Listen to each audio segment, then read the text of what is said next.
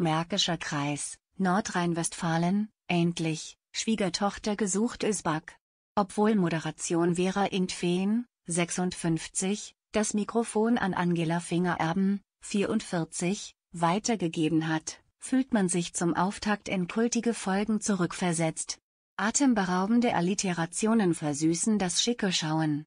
Und beim kecken Kandidaten Sascha, 35, fühlt man sich wie im heimeligen Hühnerstall. Im sagenhaften Sauerland wohnt der fröhliche Fleischer Sascha, 35, der schon seit zehn Jahren Single ist. Ich hatte bis jetzt nur falsche Beziehungen, die nicht von Zeit waren und auch nicht richtig liefen.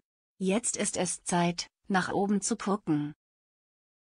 Mit Unterstützung seiner mondänen Mutter Regina, 58, soll es endlich klappen, unter die Haube zu kommen.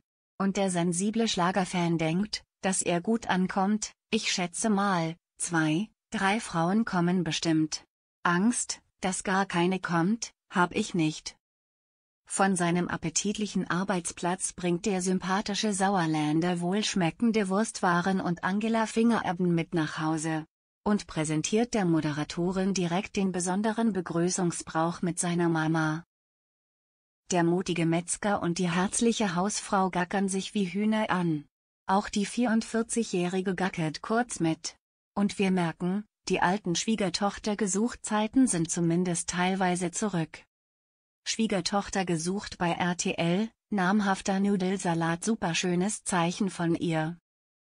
Mit ihrem rollenden Reisegepäck kommt die junge Jana, 27, aus dem reizvollen Ruhrgebiet als erste an.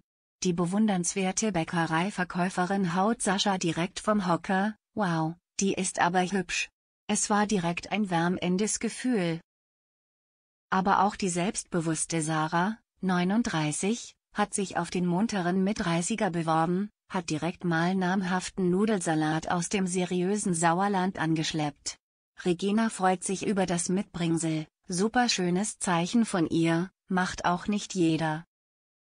Jana sieht in der angekommenen Altenpflegerin eine Konkurrenz. Zu Recht. Denn Sarah will es, pack es und ich kämpfe. Die 39-Jährige begeht aber einen fulminanten Fehler, gibt Regina für ihren ebenfalls hergestellten Nudelsalat einen Kuss auf die Wange. Die will sich einschleimen, hat die 58-Jährige die bombastische Bewerberin durchschaut.